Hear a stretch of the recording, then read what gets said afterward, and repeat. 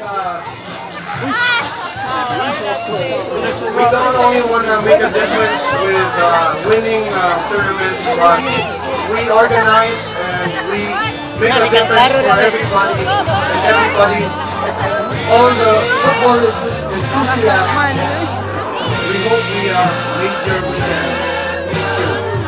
And on behalf of the Beach Football Association of the Philippines, rock and roll. Thank you.